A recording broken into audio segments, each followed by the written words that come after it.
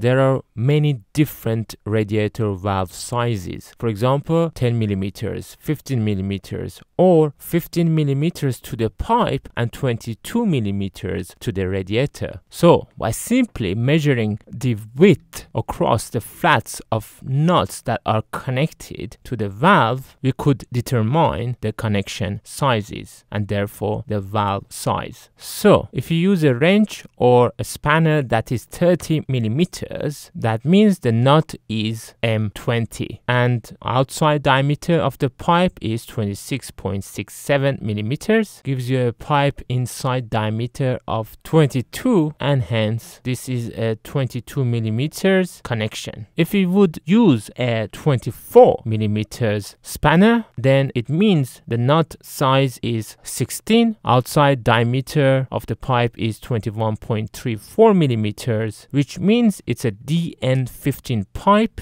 Therefore, the connection size is 15 millimeters. At my home, one of the valves was 15 millimeters to the pipe and 15 millimeters to the radiator. And one of my other radiators has 15 millimeters to the pipe, but 22 millimeters to the radiator. I had another valve, which I used a 24 millimeter spanner and it was too big for it. So I used 22 millimeters instead and it was too small for it. So sometimes you might not get an exact size nut after using an adjustable wrench and measuring the width, it was 23 millimeters. So the closest is 24 millimeter which means it's a 15 millimeter connection. And for the top, I use a 30 millimeter wrench, which gives you a connection size of 22 millimeters. You can find more related videos on the screen and in the description. If there is anything you want to add, please put that in the comments below and please subscribe to support my channel.